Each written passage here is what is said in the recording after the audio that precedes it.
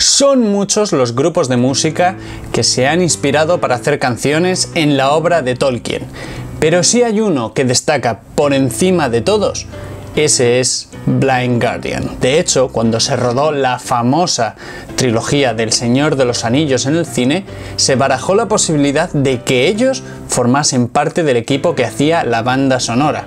Al final fue Howard Short el que hizo esa maravillosa banda sonora, pero ellos fueron incluso una posibilidad debido a su conocimiento y a su dedicación al mundo de Tolkien. Y es que Blind Guardian tiene un disco entero dedicado al Silmarillion, ese libro que cuenta la historia de Arda, el mundo donde transcurren los hechos de El Señor de los Anillos y El Hobbit. En este vídeo vamos a hacer un análisis muy profundo, tanto musical como de las letras de Nightfall in Middle Earth, para entender bien bien este disco.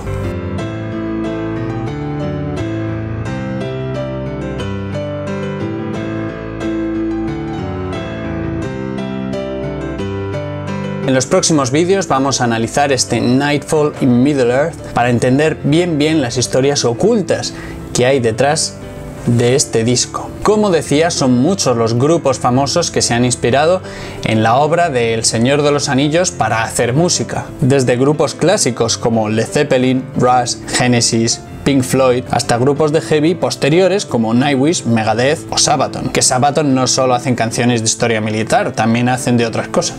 Bueno, casi todo lo que hacen es de historia militar. Y de todo eso ya hablamos en los vídeos de Rock Metal y El Señor de los Anillos, Rock Metal y El Hobbit. Vídeos que por supuesto os recomiendo. Este vídeo básicamente es una introducción a Nightfall y Middle Earth, donde vamos a analizar cada canción, cada episodio del Silmarillion contado en este disco. Corría el año 1998 y el cuarteto alemán ya tenía 5 discos a sus espaldas, todos con gran aceptación de la crítica, especialmente los últimos trabajos en los que eran reconocidos como un grupo que iba mejorando año tras año.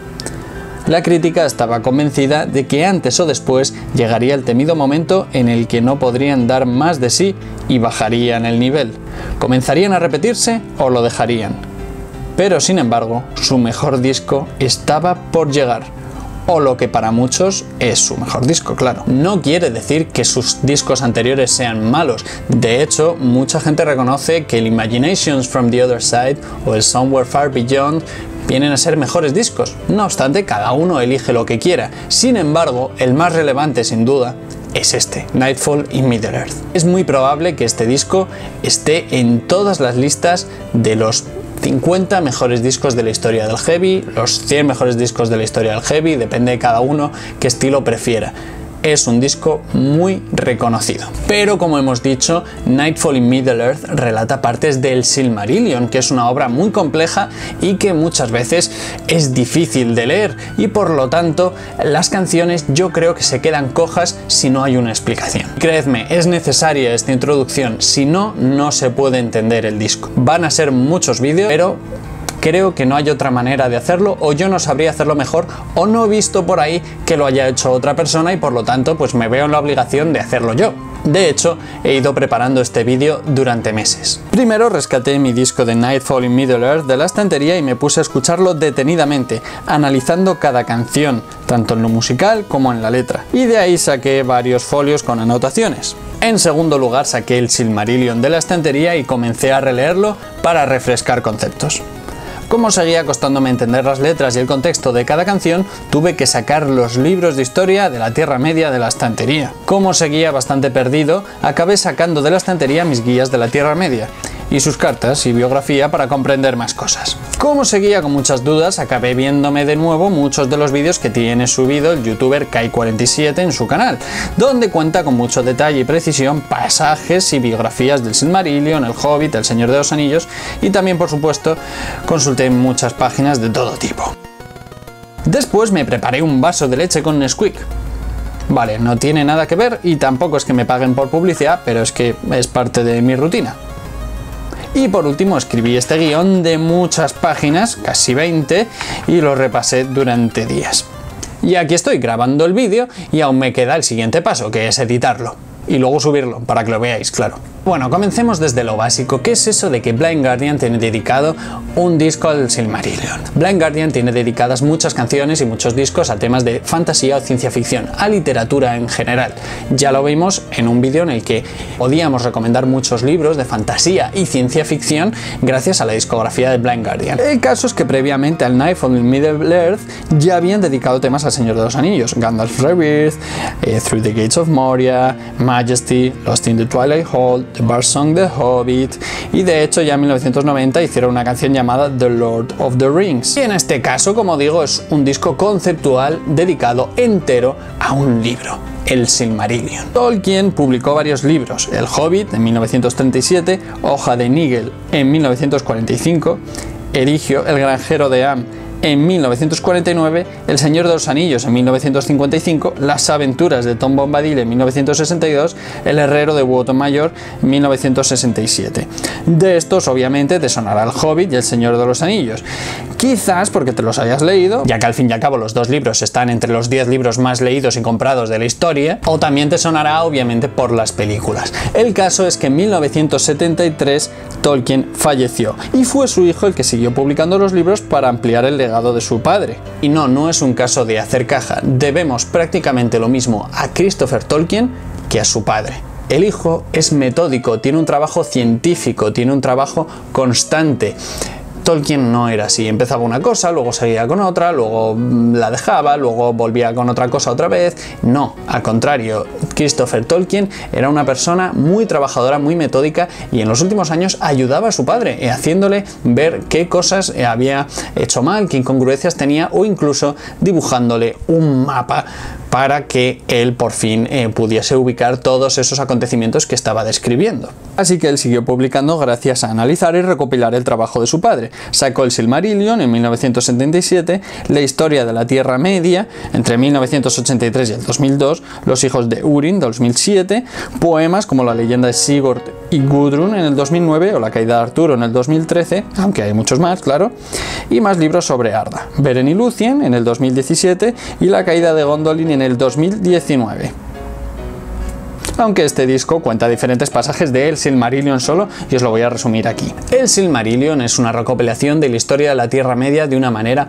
un poco resumida, es decir, que no es una novela al uso y ni siquiera es la historia entera de la Tierra Media porque eso salió posteriormente. Era, bueno, un primer intento de compilar toda la creación de su padre. Y se llama así porque cuenta la historia de los Silmarils.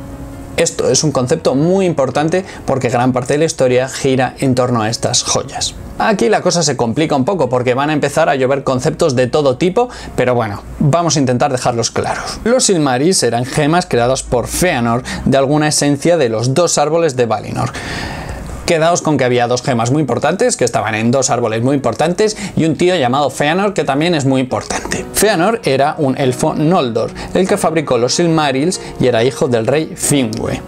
Por otra parte tenemos a Finwë, que era el rey de los elfos Noldor, que condujo a su gente en el viaje desde la Tierra Media a Valinor, un reino situado en Amán que no es la capital de Jordania, sino las tierras imperecederas, un sitio al que solo pueden ir las almas inmortales, o algunas excepciones como los portadores del anillo único. ¿Os acordáis del final del Señor de los Anillos, cuando Frodo se mete en un barco y se va a algún sitio? Bueno, pues es ahí donde va. Finwë tiene que guiar a estos elfos a esta tierra huyendo de la Tierra Media amenazada por Melkor. Por cierto, Finwë es un antepasado de Elrond, que también os sonará por el libro o las películas, ¿vale? Y ahora vamos a ver quién es el gran villano de esto. Melkor, también conocido como Morgoth, es el malo de la película y es el maestro de Sauron. Por último, vamos a distinguir ciertos rangos de importancia para entender un poco eh, cuán poderoso es cada uno. Primero está Ilúvatar, que es como el dios de este legendarium creado por Tolkien.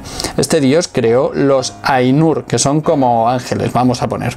Recordad que Tolkien era católico, por tanto su mitología es parecida a la Biblia, pero también con, como era fan de la cultura nórdica, porque su niñera era islandesa, por cierto, bueno, pues hay muchos términos cogidos de la mitología vikinga. Ilúvatar es igual a Dios, que crea los Ainur, que son igual a los ángeles, y estos se dividen en Valar, que eran más poderosos, por ejemplo Melkor, y los Maiar, que eran como los ayudantes y sirvientes. Y de estos había miles, por ejemplo Sauron, Saruman, Gandalf, algo así como ángeles y arcángeles. Bien, pues como digo, el malo Melkor es un Ainur. digamos, un arcángel y es el más poderoso de ellos y va y se corrompe. Esto sonará porque es, bueno, mm, como el ángel caído, parte de la mitología cristiana. Él corrompe a Sauron y a otros seres, como por ejemplo los Balrogs, y también hombres lobos, dragones, vagos, maleantes, gente de mal vivir en general y muchos seres de fantasía. De hecho, Melkor en una de las edades antiguas es un capullo y se carga las dos lámparas que iluminaban el mundo. Por eso los Valar que eran estos dos árboles que os mencionaba antes, que son los que dan luz al mundo.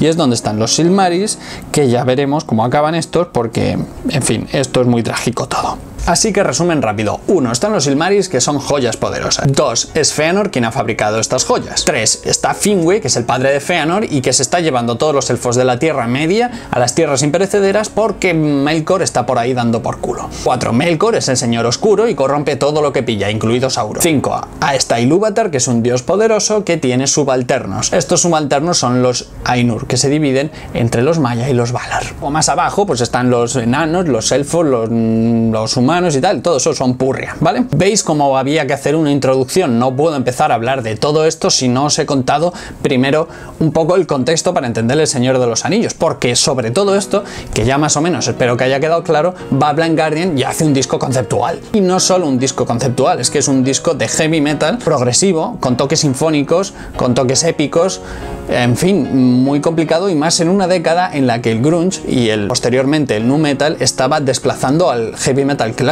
Y van ellos y hacen este disco tan complicado y lo petan en ventas. A ver, no son los únicos, también había otros grupos como Opeth o Death o Ice Earth que, bueno, estaban sacando muy buenos discos entonces y lograron buenas ventas. Pero la diferencia es que Plan Guardian no solo aguantó, sino que además creció en popularidad y fama. Y es importante destacar que en aquellos años El Señor de los Anillos mm, era muy conocido, pero no tanto como ahora. Es decir, eh, primero estuvo muy de moda en los años 50, 60 y 70, de hecho por eso tantos grupos cantaron sobre eso, y después pasó a ser una cosa para frikis y para nerds. Antes de las películas, cantar sobre el Señor de los Anillos era básicamente ser el nerd de la clase. Y aún así, cantando sobre esto, lo petaron. Y por si fuera poco, además nos habían complicado lo suficiente y el cantante estaba inmerso en un proyecto paralelo con John Schaffer, el guitarrista de Ice Earth. Este grupo paralelo se llamaba Demons and Wizards y también sacarían un disco excelente al año siguiente. Y además en esas fechas comenzaron a componer un disco orquestal que saldrá en el 2018 o en el 2019. Así que estaban muy liados y aún así lo hicieron muy bien. Y el caso es que desde entonces, cada vez que sacan disco pasan a estar entre el top 10 y el top 5 en las listas de ventas de todos los países. Así que espero que este vídeo os haya servido. Espero de verdad que disfrutéis de esta explicación del Nightfall in Middle Earth. Espero que si os gusta el mundo del Señor de los Anillos pero no conocéis este disco, le deis una oportunidad o al contrario, si ya conocéis este disco pero no entendíais del todo de qué iba, pues oye, te recomiendo que estés pendiente de estos vídeos que van a ir saliendo poco a poco a lo largo de las siguientes semanas y a lo mejor después de esto dices, oye, pues voy a leerme el Silmarillion o más cosas del Señor de los Anillos.